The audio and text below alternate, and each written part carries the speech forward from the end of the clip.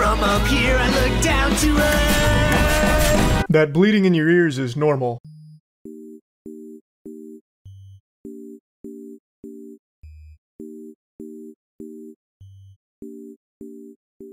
Hello everyone and welcome back to a critical retrospective. My last video was about one of the major villains of the show, Lila, and so I decided why not keep up with that tradition and talk about another villain slash anti-hero in the show, and of course that character is Felix. I think that Felix is arguably the most interesting character in the whole show. For a character who appeared so infrequently across the seasons, he quickly became one of the most important characters to the overall narrative, and he received so much character development in the little amount of time that he ultimately had. Ultimately, having such little screen time built up mystique around his character. It makes it clear to the audience that whenever he does appear, something crazy is about to happen. Felix is a character who actually gets the plot going somewhere, which is definitely appreciated after four seasons of the same song and dance. However, Felix didn't exactly start out this way. Felix in season 3 is characterized very differently to how he is characterized for the rest of his appearances. And season 3 is the only place to start, so let's get to it.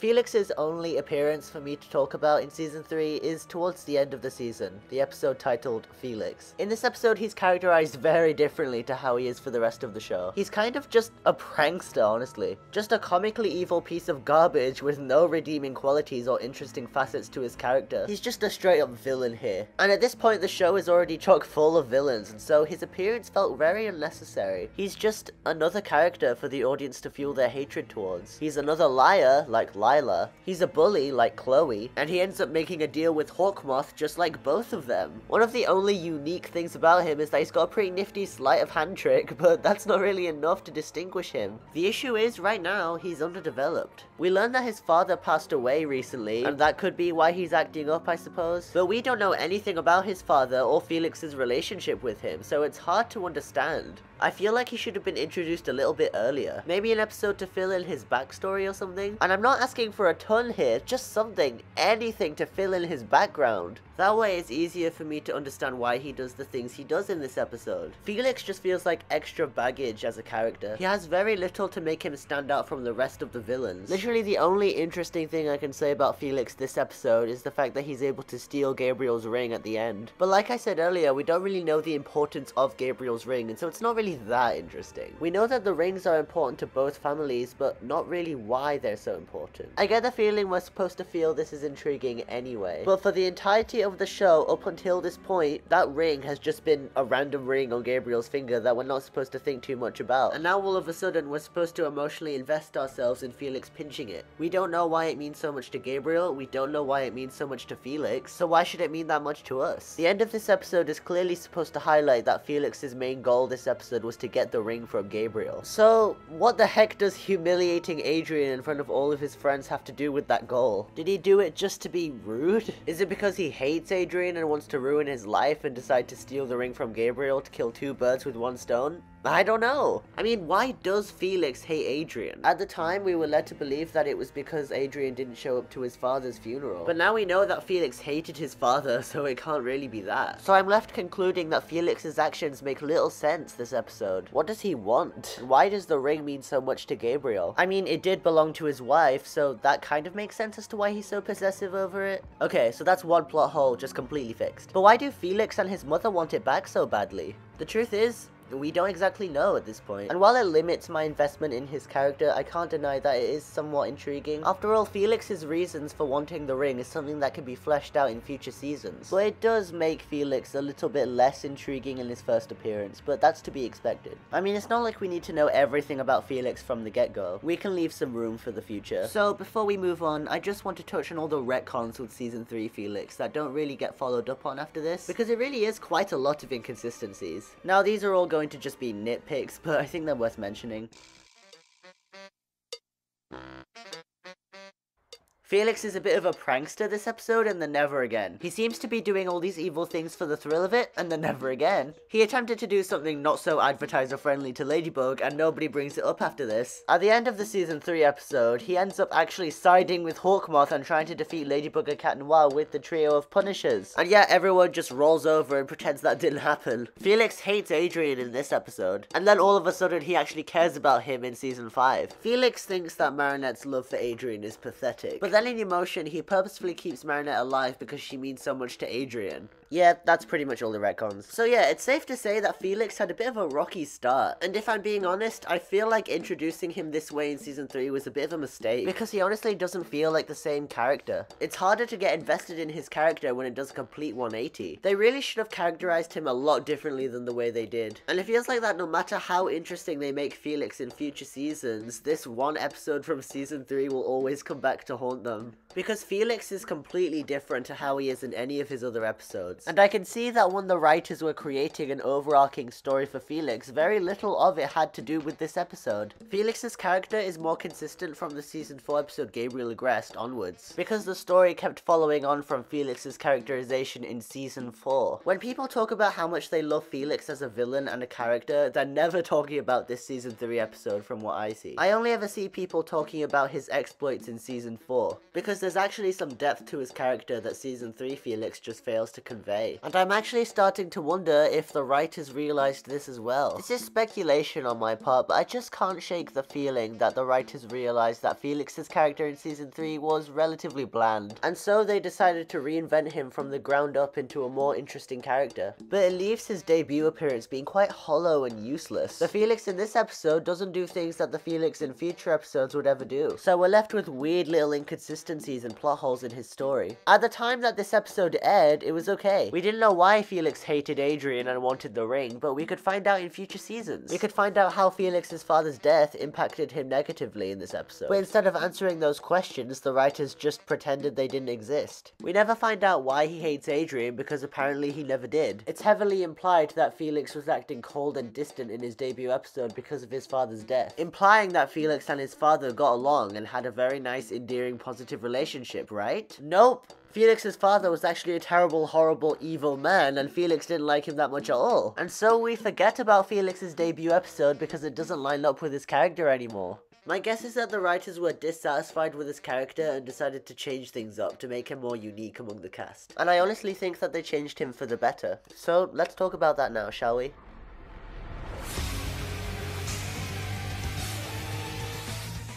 Now this is quite an improvement. Back in Season 3, I just wanted Felix off of my screen as soon as possible, but in Season 4, the opposite is true. He's a lot more cunning and calculating than he was in Season 3, and the rivalry with Gabriel makes it even more interesting. Back in Season 3, Felix seems to have allied himself with Hawkmoth, but in Season 4, he seems more suspicious of Gabriel than anything else and wants to get one over on him. Either Felix was tricking Hawkmoth back in Season 3, or Felix is just an episode we should forget about, which I'm all here for. Honestly, it feels so removed from the rest of Felix's character across the show that I'm not even going to bring it up anymore, there's no point.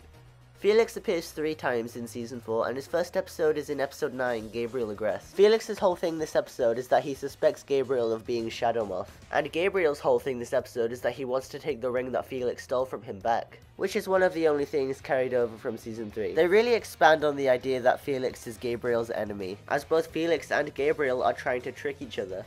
Gabriel wants back the ring and so tries to akumatize Felix to try and mind control him into giving back the ring, I suppose. But Felix manages to break out of the akumatization. He then rips the fake Sentimonster Gabriel's trousers so that when the real Gabriel shows up and doesn't have the torn trousers, Felix realizes that there's a fake. And these are the kind of wits that Felix was missing in season 3. And this finally makes him unique among all the other villains. Because unlike all of the others, he's actually a competent person. He knows what he wants and he knows how to get it. And he especially contrasts with Gabriel. Remember, this is a man who has akumatized Mr. Pigeon 72 times and loses every single episode. Needless to say, it's not that easy to take him seriously with a track record like that. Felix is a different story. In this episode, unlike season 3, Felix doesn't draw too much attention to himself. He waits for an opportunity and then seizes it. And his machinations actually make sense, and it makes sense as to why he would succeed with his plans, unlike somebody else I know. Honestly, now that I think about it, I'm starting to think that Felix is being portrayed as an anti-hero anti-hero rather than a villain. And I think it's because of the fact that he doesn't side with Shadowmoth. He's trying to exploit Gabriel for his own purposes, and yet he doesn't side with the heroes either. He's on his own, in terms of his actions and in terms of his morality. And that's what's so interesting about him. Imagine a scenario where Felix was actually on Gabriel's side, just like Season 3 seems to have been hinting. Wouldn't that just be really boring? Felix just being another ally for Hawkmoth to rely on. We already have one, two,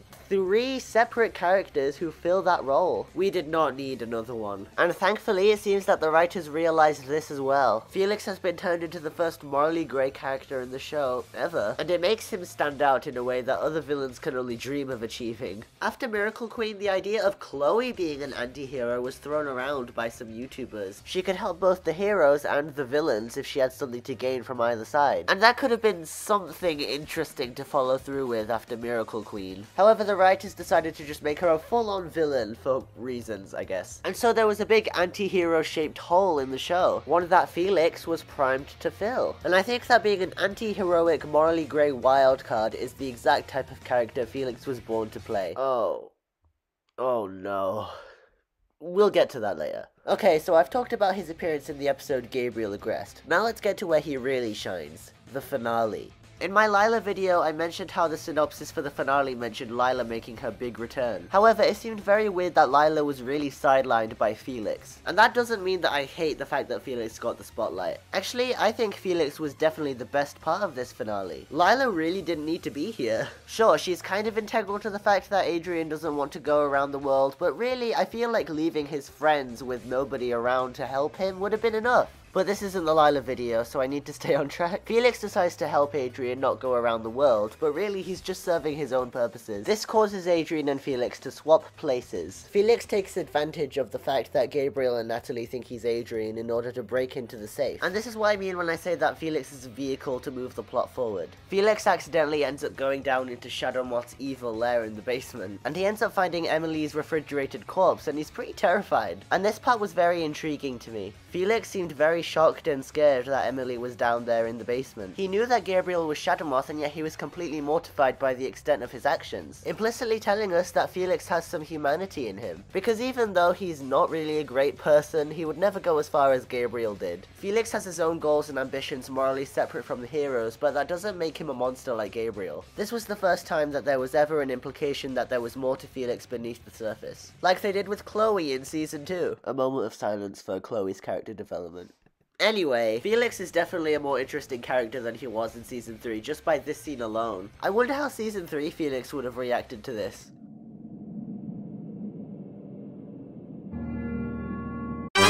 Didn't you say you were gonna stop talking about Felix in Season 3? I did, didn't I?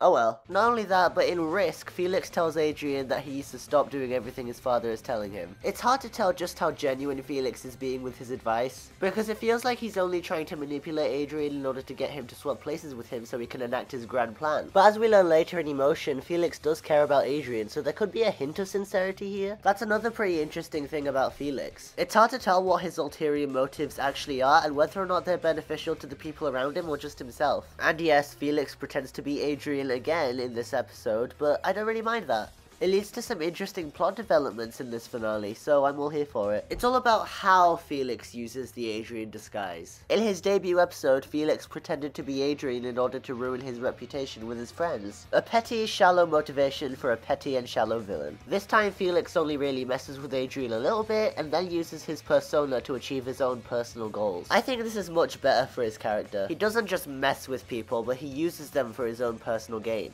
Speaking of which, let's get to part 2 of the finale, Strike Back. We all know what happens in this episode. Ladybug gives the dog Miraculous to Felix, thinking that he's Adrien. And of course, Felix, using his brain, takes advantage of this. He sneakily touches the ball to the yo-yo, and so that will allow him to retrieve the yo-yo whenever he wants. And since the yo-yo gives him direct passage to the Miraculouses, I bet you can guess what happens. Felix decides to extort Gabriel for the Peacock Miraculous, because that's what he's really been after all this time. Now on the surface, this seems to fly in the face of my idea that Felix is an anti-hero because he doesn't side with Shadowmoth when clearly he's making a deal with him. Well, the way I see it, this is just another trick. Gabriel questions whether or not Felix is going to use the Peacock Miraculous against them, with Felix assuring him that if he wanted to hurt Gabriel, he would have done it a long time ago. But as we know in the episode Emotion, Felix was always intending on using the Peacock Miraculous to betray Gabriel. So really, Felix only decided to team up with Shadowmoth in order to get what he wanted from him so that he could betray him later. In my humble opinion, this is Felix's character at his best. A loose cannon who serves himself. Felix is really coming into his own as an anti-hero now. An anti-hero is a hero who lacks traditionally heroic qualities. They either do the right things for the wrong reasons or the wrong things for the right reasons, which is exactly what Felix did in Strike Back. Putting his intentions to the side for a moment, Felix did a good thing. He helped Ladybug save the world. However, this is where the unheroic part comes in, as he only did that to gain Ladybug's trust so that he could stab her in the back later. And this really adds fuel to the fire that is Felix's love among the fandom.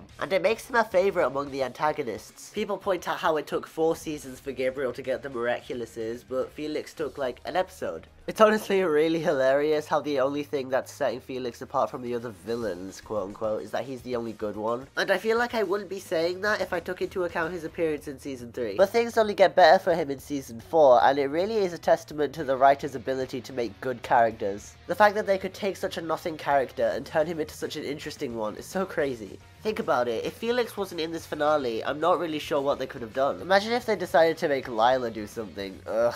I know that I'm annoyed that Lila barely got anything in season 4, but seriously, I feel like the finale just wasn't her time to shine. And the writers realised that too, if only they managed to realise that her potential was completely squandered for the rest of the season. Either way, Felix definitely carried this season. I mean, don't get me wrong, the other characters and the other storylines this season were definitely great, but Felix just took things to the next level whenever he was on screen. The plot moved faster than a bullet train whenever he got things done. He took advantage of the cards that were given to him and manipulated characters for his own personal gain. Now we can see how much he's improved from the other villains in the cast. He's not too similar to Chloe anymore because his siding with Shadowmoth was done for his own separate nefarious purposes and he betrayed him later. Sure, he and Lila are both liars, but while Lila lies about both her personality and all the crazy things she gets up to, Felix lied to Ladybug about who he actually was, and that allowed him to take advantage of Ladybug's trust and use it against her. This is what makes Felix the ultimate antagonist in my eyes. The writers combine unused, interesting concepts from the other antagonists and use them in Felix to their fullest potential. If Felix were to remain the same in this season as he did in season 3, then everything would be substantially worse, because his character wasn't built for complexities like this. Season 3 Felix's character probably would have just joined Shadowmoth for the fun of it to cause chaos and destruction and ruin Adrien's life and drink his tears. They're just not the same character, and so this complete remix was necessary to create more interesting stories with him. He was a much simpler character back in the day, and so they added all of these layers. Layers that make him a complex character that I enjoy watching on screen. I'm really looking forward to what Season 5 will do for his character. So let's find out.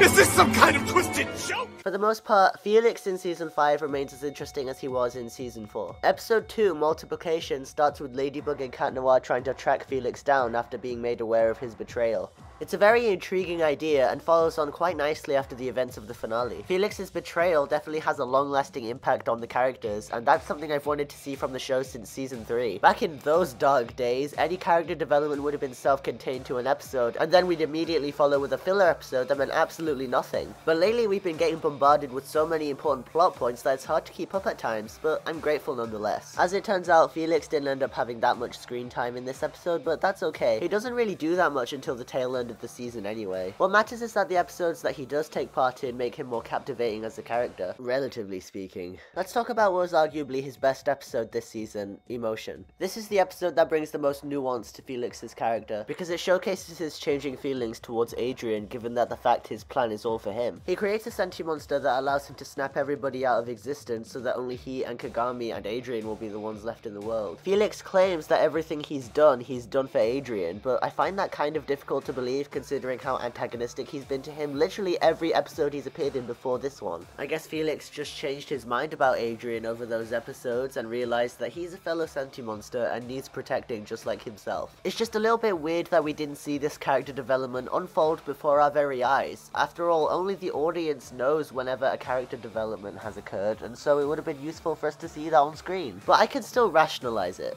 Because Felix realizing he was wrong about Adrien is something that's very interesting to watch. And yet, it doesn't really sacrifice his qualities as an anti-hero either. Off-screen, Felix realizes that Adrien is his equal, and so decides to help him in his own twisted anti-heroic way. His moral compass hasn't fully aligned yet, and so he doesn't truly understand what it means to help somebody. And this is an interesting development, just as long as they don't push him too far into being a hero, which I don't think he truly deserves. And that's what's the most important thing here. I'm open to the idea of Felix redeeming himself, but it needs to be a nice slow burner redemption. A season long arc. Slowly, Felix would realize the error of his ways and act to amend them. As it stands, he's done too many terrible things to be instantly forgiven. And I think they do this quite well in the episode following Emotion, Pretension. Felix kidnaps Kagami in order to free her from her mother, because he believes that Kagami is being controlled and oppressed by her mother. This speaks to Felix's true nature as a sentient monster and his desire for freedom, which is what he fought for from his very start. This episode gives us a greater look at Felix and his morality. He stole the Peacock Miraculous from Gabriel because he wanted the sentient monsters to be protected. Back when Gabriel had the Peacock Miraculous, he would create many sentient monsters and then when they outlived their usefulness, he would just kill them.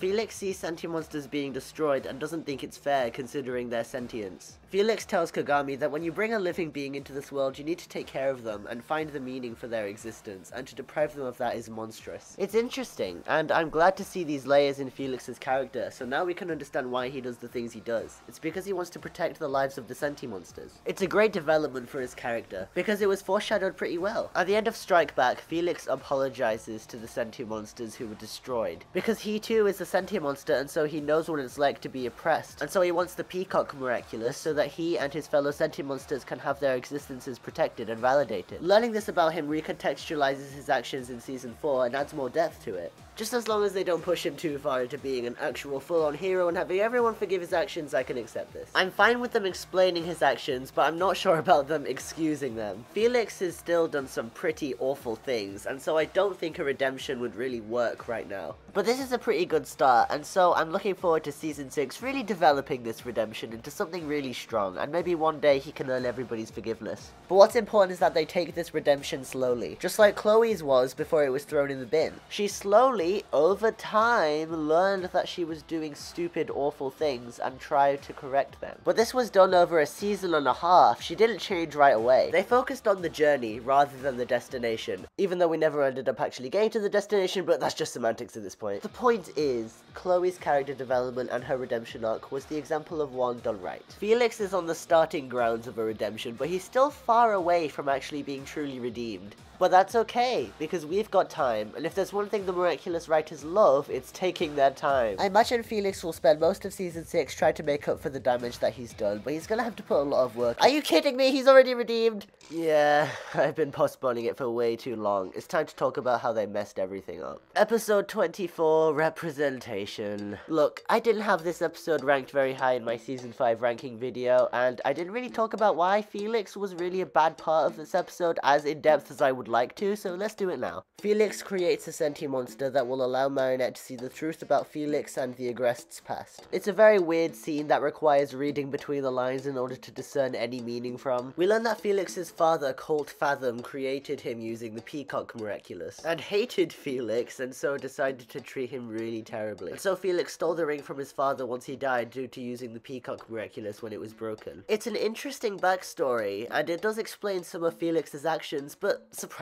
not all of them. We still don't know why he hates Gabriel and Adrien, something that's been part of his character for the majority of his appearances, but only mysteriously disappeared in emotion. Not only that, but they try to explain Felix's actions by saying that he wasn't loved by his father. This is definitely an effective way to gain my sympathy, but wait, where have I seen this before? This feels all too familiar. Chloe just clearly demonstrated that there is nothing exceptional about her. Oh yeah, Chloe's reason for being the way she was was the exact same as Felix's. And yet Thomas Astruc has the characters repeat time and time again that this doesn't excuse her actions, so why does Felix get an excuse? I'd argue that he's done worse than Chloe, and yet he gets a redemption. Not just a redemption, but a really quick one as well. Felix is not your enemy. Everyone is wrong about him.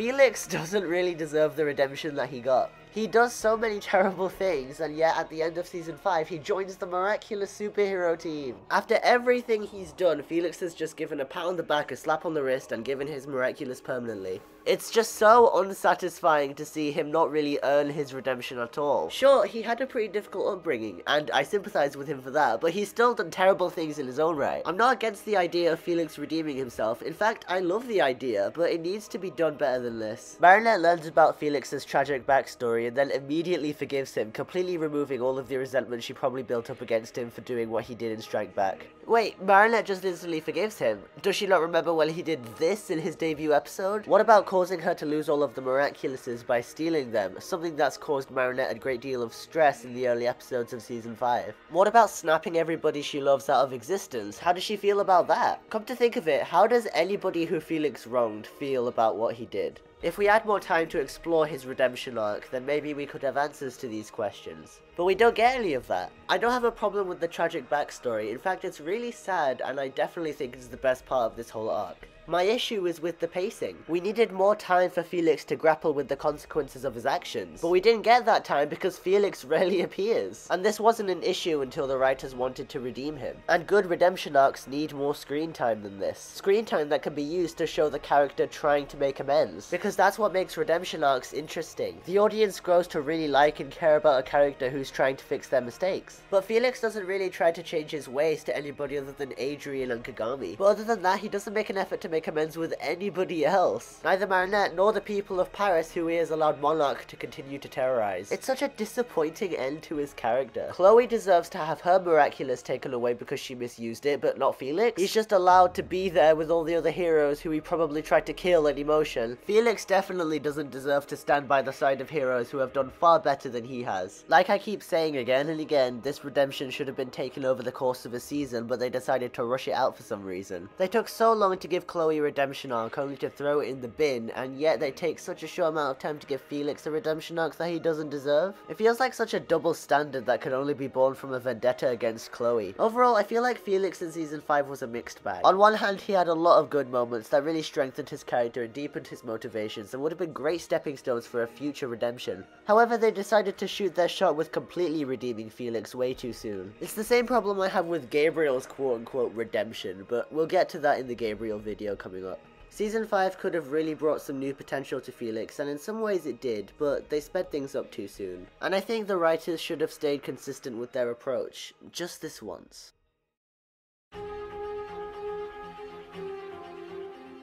In conclusion, Felix is a very interesting character and a very unique one at that. He's the definition of an anti-hero for most of the show. He doesn't morally align with Ladybug, Cat Noir, or even Shadowmoth. He used to treat everybody in his life with the same lack of empathy, only looking out for himself. But then we get those layers to his character. He has the ability to come to terms with where he went wrong, and he gains the ability to want to help the people he cares about, if only in his own way. And these are the signs towards the first steps of a redemption, or at least they should have been. They went too fast with Felix's redemption to the point where it feels unearned. If this was a better written show, Felix would probably have to work a little bit harder to earn everybody's trust back. But he doesn't have to because reasons, despite the fact that he's done some pretty deplorable things. It's just frustrating to see characters like Chloe left in the dirt, and yet Felix gets to get away scot-free with everything that he's done. All I needed was one character, just one character willing to call Felix out for everything. One character to let him know that he's gonna have to work a little bit harder than that. Presumably Adrien or Marinette, since Felix wronged those two the most. But that plot contrivance isn't going to take away the enjoyment I get out of his character. Felix definitely came at a time when Miraculous was getting pretty stale, and his unique character traits reinvigorated interest in the show, at least for me. And despite the relatively lackluster and unearned ending he got in season 5, he had more than a fair share of captivating moments. And at the end of the day, that's what me and the rest of the audience watching the show is going to remember about him.